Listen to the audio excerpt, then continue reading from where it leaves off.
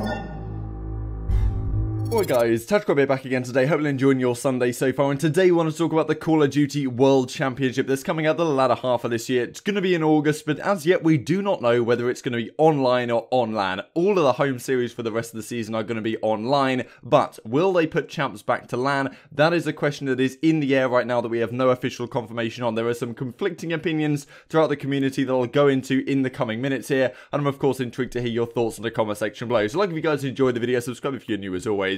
I would greatly appreciate it. So this got announced a couple of weeks ago that we talked about. The prize pool for this year, 4.6 million total at the playoffs. Technically, they're calling it playoffs, not champs. And this season it's a bit different, right? Because you don't have like the stage, like the stage one, stage two playoffs, and then champs overall with then the amateur teams coming in. It's kind of all combined into one. Playoffs is champs and vice versa. But they're probably not going to be calling it champs. I don't know. It just feels right to still call it champs. But um, and of course, especially so given the prize pool, right? So 2 million for first, 4.6 million overall. The Call of Duty Championship tournament, okay, technically they are calling it the Championship still, so that's a good sign, will take place in August 2020. More details will be announced soon. So this came out a couple of weeks ago, and um, this is kind of where we are left in the dry. But we have no reason or we have no um, ability to know right now whether it's going to be online or on LAN, which of course is the key question, right? Because all of the home series we'll go through here in just a second are going to be online still. The Minnesota one coming up next weekends, four more after that, and then we get in August time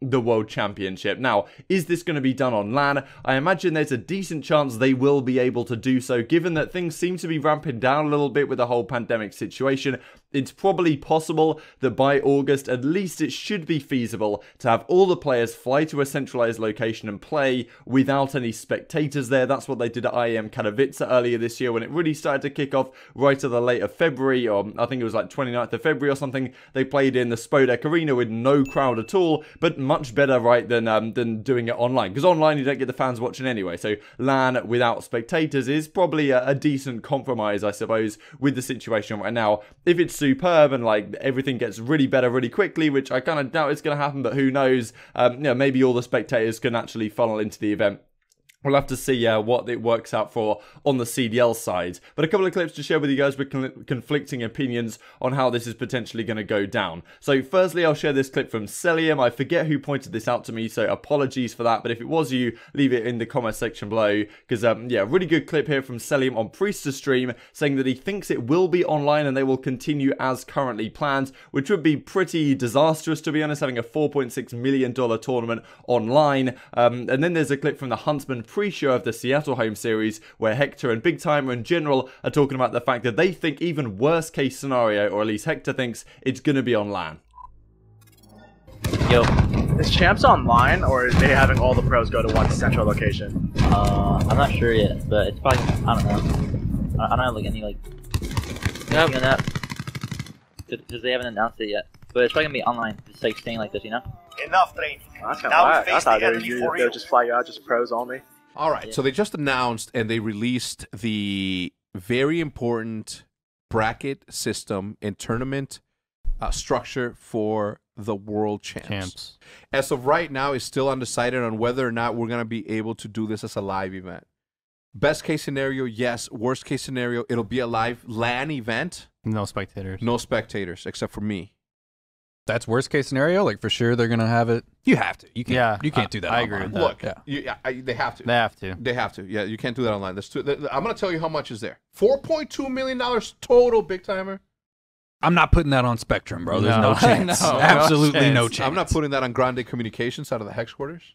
Maybe I am. So this is what the rest of the season looks like. The Minnesota ROKKR Home Series 5 through the 7th with these teams you can see on screen. Then two weeks after that, the Paris Legion Home Series at this part of June, towards the end of it. And then we get the last three, I'm pretty sure all back to back. So the New York Home Series 10th to 12th of July. Then a week later, the London Royal Ravens Home Series. A week after that, the Toronto Ultra Home Series. So really exciting end to the season we have coming up. But then in the next month, in August, it's supposedly the World Championships is going to be there. Typically, it's been around this time. I was thinking that maybe they might even consider delaying it to September if that means that they can have it on LAN. If there's restrictions in place or whatever, in August time and it's possible to do something on LAN in September, that would definitely make sense, right? Because it eliminates all of the online question that we've had this entire season long since it went online. Several tournaments now we've gone through the online period and it's like, okay, does this count as an event? All these questions that come into play. Not really a, discuss- a topic that's uh, discussed much more nowadays, but we saw Octane discussing when this whole thing came around. He was like, well, if Champs is online, I guess it does count as Champs, technically. Um, so, you know, big conflicting opinions.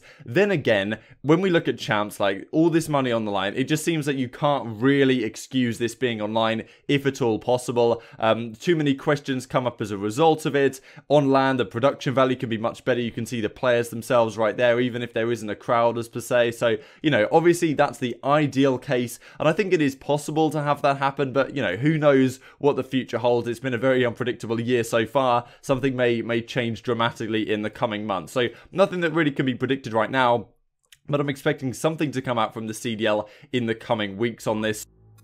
So this is what it would look like right now. If the seedings were set as per post the Seattle home series, this is what it looks like. So Chicago and Atlanta all the way up here. What I find kind of interesting about this format is in previous seasons, you can win the World Championship, but not necessarily be the best team for the season. So, you know, World War II, Evil Geniuses won the World Championship, but they certainly weren't the best team in the season, Team Kaliber, Rise Nation. Whereas this season, given that the whole, all the home series stuff contribute to where your, uh, where your seeding is at the playoffs, playoffs, it's actually quite likely that the team that wins this, say it is one of these, you know, one of the top three, being the Huntsmen, Atlanta FaZe, Dallas Empire, they all have great seedings right now because of how they have done so far this season. So it makes it pretty likely that the team that wins this can be considered the best team in the entire season, right? Because right now, if any of Huntsmen, FaZe, and Dallas Empire were to win, they would be considered the best team for the entire season and the World Championship winner, which is kind of a nice parallel to have, right? Because in the past, you can win the World Championships, but you look back at the season and it's like, well, they probably weren't the best team. They were just the best team on the day at the World Championship, which of course counts for a lot, but, you know, you can't look back on World War II and say that EG, you know, wrapped up that year. You know, they were the winners of that year, because really it was Rise Nation Team Kaliber that were the winners that year but they just happened to win the world championship. So it's kind of nice to have that parallel. Then again, a team like Guerrillas could technically win eight series and win the world championship, and at which point we get a similar situation, right? But you know, there's positives and negatives to this format, but I was just thinking that maybe that's somewhat of a positive, right? That you can look back on previous seasons and say that okay, whichever team wins it, they probably just you know won the season overall, and we don't have to have too many other conversations about it. So let's look through the championships that we've had in the past. Thought this was interesting to look back on, especially given that all these world championships have had a lot of prize pool on the line, but they've all been on LAN, right? And it means that there's less questions regarding the game and the inconsistency and all this kind of stuff. When there's this much money on the line, and you know, to be fair, there's a lot of money on the line already right now at these home series. 50 grand, I think, to the winners, um, you know, 20 grand to second place, 10 grand to third and fourth place, I think is the current prize pool that they're working on for the current home series. But you look at the World Championships and there's always been a lot more, right? And in a situation like that, if there's any way we can possibly do it on LAN, that's the way to do it, right? And then we get a proper conclusion to the season, and all these other past home series that have gone down online. Honestly, a lot of the results to these home series have been pretty expected, apart from the one that Florida won, and even the one that Florida won at the Dallas home series. It was Florida and Minnesota in the grand finals, and both those teams had made grand finals before on LAN. And then since then, it's been FaZe, um, Dallas Empire, and uh, the Chicago Huntsmen that have won, teams that already won when we were on LAN, right? So honestly, the inconsistency factor of online isn't as big as maybe some people would expect. But, you know, then again, you go into a LAN environment, that question completely goes out the window, and probably the production value gets stepped up to another degree because the actual production facility and all the staffing can actually be there at the event. So a little trip down memory lane here, looking at the rosters that have won in the past. Karma, Killer, Miracles, and Parasite, of course, winning in the Black Ops 2 World Championships, a million dollar prize pool. As I talked about yesterday in the Nature video, Champs used to be much earlier in the year, like March time to kind of advertise the DLC. So Call of Duty goes to another million dollar championship. Complexity win this one. Karma goes back to back. Team Envy, really, um, you know, another second place here. Pretty much they solidified themselves when they won the World Championship in Black Ops 3 as the best World Championship team ever. They have the highest average placing. They have the highest um, prize money earned. And I wonder whether that will transfer over to the new Dallas Empire squad in some respect at least. Of course, their players over time have switched up very dramatically, but always seem to get a good result at the World Championship. So another million dollar tournament here. Then Advanced Warfare a similar fashion. Denial win this one as we discussed yesterday. You know, Jacob actually talked yesterday on Twitter how they wish they didn't win the World Championship under Denial just because of all the bad rep that organization had. Came back in Black Ops 4 and it was a bit of a shambles, right? So shame that that really uh, the whole situation went down. Red ended up finishing third as we talked about that FaZe Red versus Optic Gaming match yesterday when Nadeshot pulled out the HBR and all of that. Another million dollar championship here. Then Black Ops 3 they stepped it up to 2 million. This was COD XP technically at the end of the season.